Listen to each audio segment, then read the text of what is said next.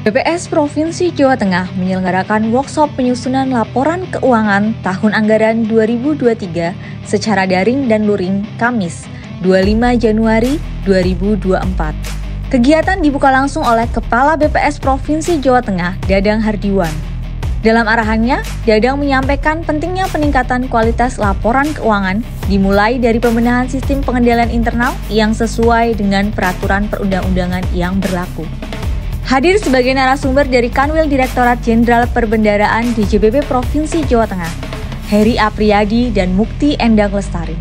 Peserta mengikuti jalannya workshop secara daring dan luring melalui kanal Zoom yang terdiri dari staf pelaksana keuangan dan barang jasa BPS Kabupaten Kota se-Jawa Tengah.